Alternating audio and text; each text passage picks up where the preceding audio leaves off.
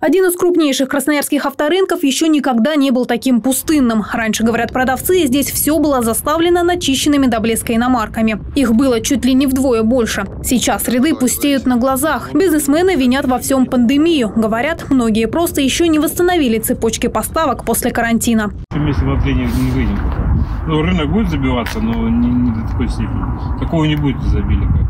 Специалисты объясняют причин, почему красноярские авторынки пустеют, несколько. В основном машины к нам привозят из Азии, еще часть из Европы. Такие иномарки нужно обязательно растамаживать. Курс евро и доллара постоянно растет. Из-за этого некоторые популярные модели в среднем уже подорожали на 150-200 тысяч. Покупательская способность при этом, наоборот, упала. На сегодняшний день просто покупательская способность э, людей, она э, настолько мала стала, что вторичного рынка нет на рынке. И это замкнутый круг. То есть для того, чтобы автомобиль приобрести, его нужно продать. А люди сейчас э, минимум продают свои автомобили. Потому что, чтобы его обновить, нужно добавить средств.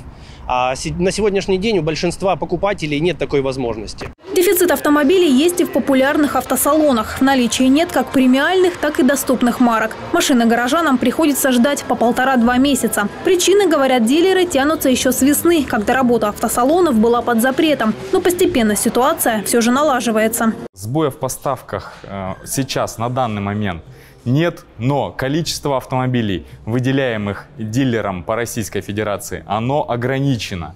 Сейчас э, есть некий дефицит автомобилей, ходовых комплектаций. И э, если клиент хочет приобрести такой автомобиль, да, он вынужден немного подождать. Но у нас есть альтернативы. Э, каждые дилеры идут навстречу своим клиентам. Между тем, эксперты авторынка уверены, ситуация еще какое-то время будет напряженной. Полностью дефицит исчезнет не раньше весны 2021 года. Екатерина Любим, Максим Галат и Алексей Овсянников. Енисей. Новости.